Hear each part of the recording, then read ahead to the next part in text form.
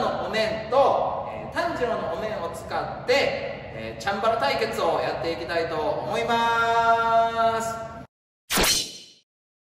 でルールはこの白い線があります。この白い線上だけで進んでいくの。で進んでいって相手よりも先に切ったり刺したりした方の勝ち。で攻撃は何でもありでいきたいと思いますのでちょっとやってみましょう。ってみます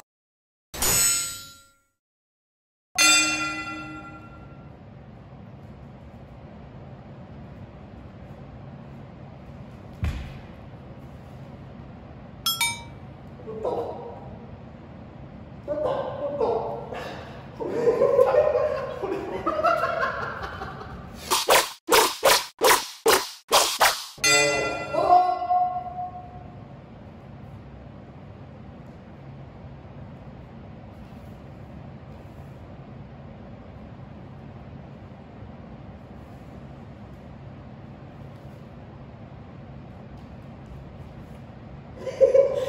ことね。そう、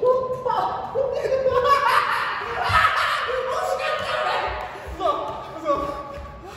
絶対負けんけどな、俺。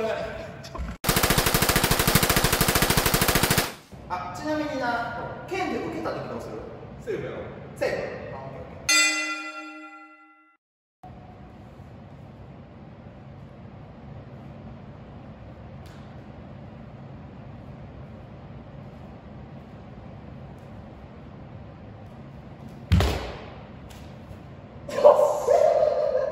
受けたんだよでもせや、受けたね。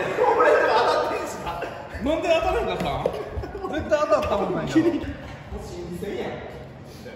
じゃんけん何行くかよ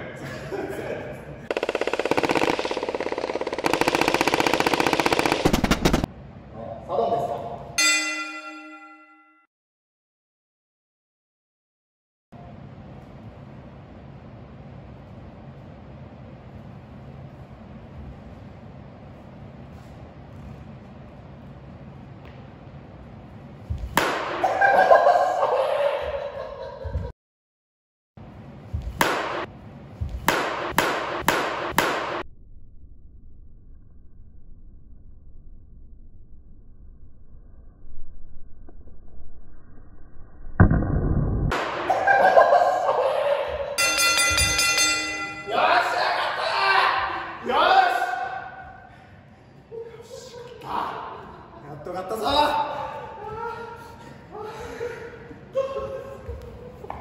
完全にもう切られたよ